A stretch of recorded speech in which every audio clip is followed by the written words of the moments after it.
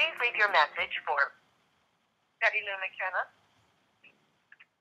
This is John Paradee. I'm sorry I'm not available to take your call. Please leave your name and number at the tone, and I will get back to you as soon as possible.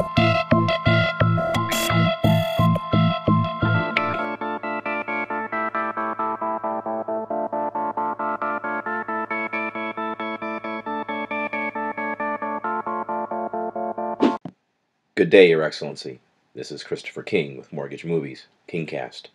Uh, and I have little to no doubt that these ballots in this election have been tampered with, and that you need to use your plenary powers to convene a full investigation. Uh, there could be criminal charges. There should be, in my opinion. Uh, the video will show more in a moment, but for now, just uh, for example, please take a look at that last X next to uh, Betty Lou McKenna's name, sir. Subject that X to forensic analysis because it certainly does not appear like the other ones, does it? Now, Mr. Gunn is clearly the best candidate to address the concerns manifest in your homeowner initiative, for example.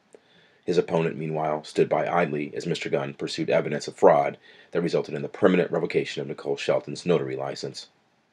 She and her counsel also ignored the request for information during the campaign and lied to me in order to shut me down and shut down my cameras in a public building, telling me that there was a written policy, only to have the county corporate counsel know that there is no such policy. Litigation will be filed in that matter as well shortly, further tarnishing the image of this crucial public office.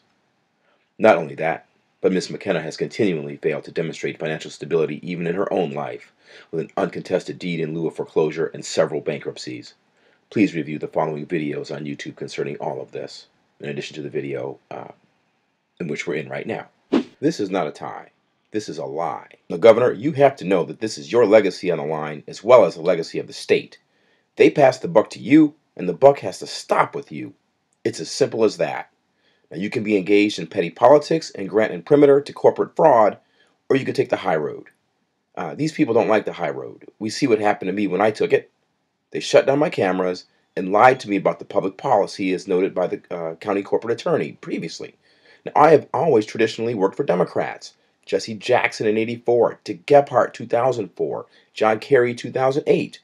But this issue, Your Excellency, is bigger than any political affiliation. It is the difference between right and wrong. So, to coin a phrase from William Hurt in Gorky Park, we cannot fall into the chasm between what is said and what is done.